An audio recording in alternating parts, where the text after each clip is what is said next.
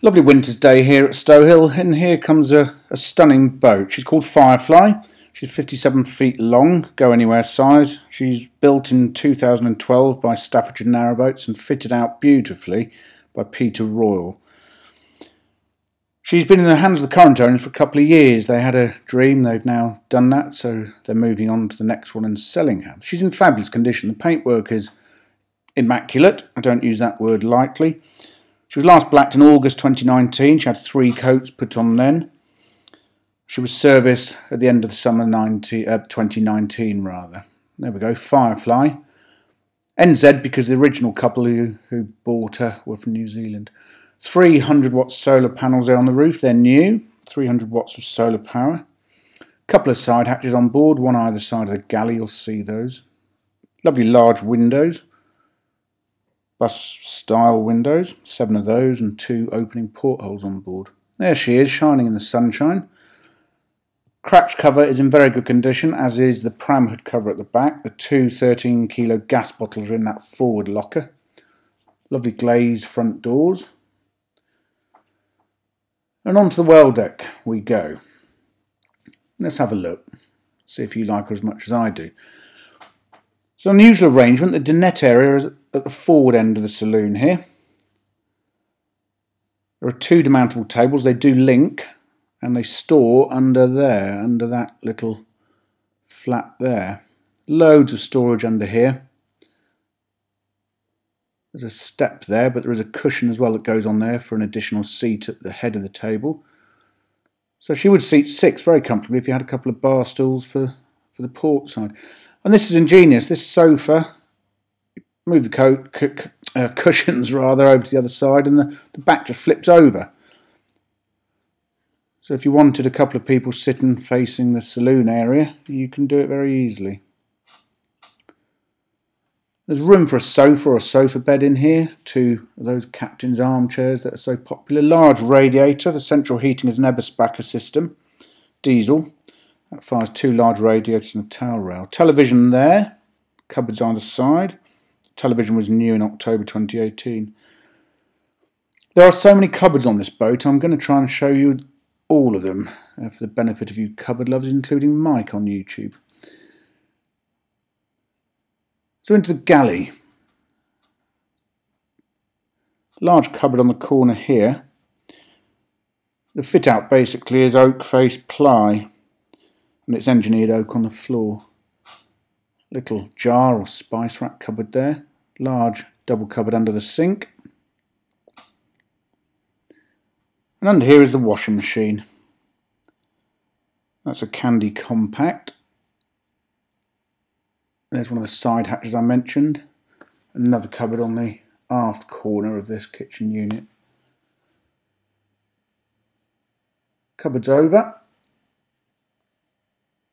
All the lighting on board, by the way, is LED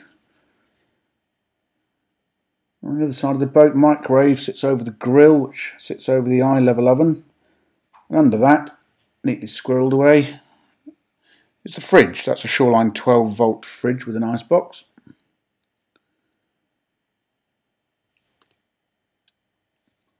Another side hatch next to the cooker.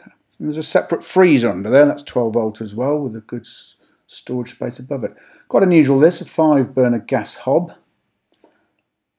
under which some huge drawers. It's all soft close.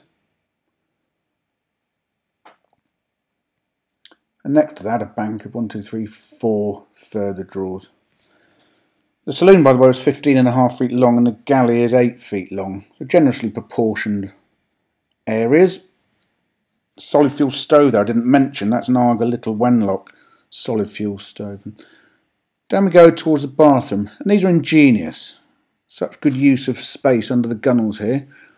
These are good for laundry or shoes or whatever you like really, knickers and socks. The last two are cupboards rather than the pull-out drop-down things. Into the bathroom, there's a sliding door. Bathroom's a good size, six and a half feet long. Cupboards and mirrors over this very stylish glass basin. The loo sits next to that. It's an electric flush macerator pump out. There's a 385 litre holding tank. And a lovely quadrant shower. There's an extractor fan in here, by the way.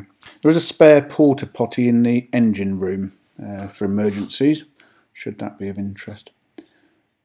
Into the bedroom. The large radiator.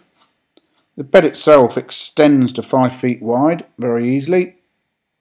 I'll need to be in the middle to pop that back in.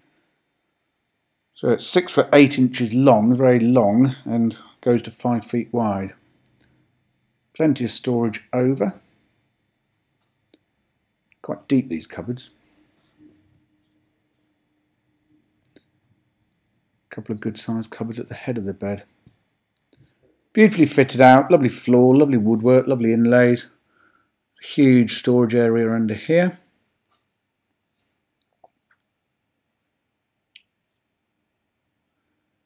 And good space at the foot of the bed. The bedroom's 11 and a half feet long. There's a wardrobe here.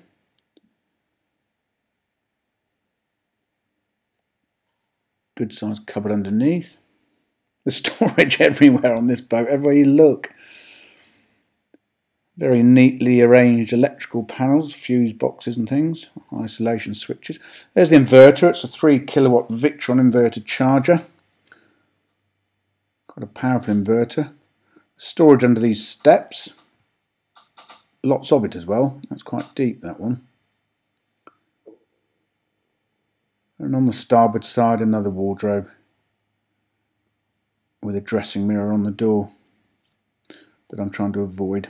Under that, a drawer, another cupboard.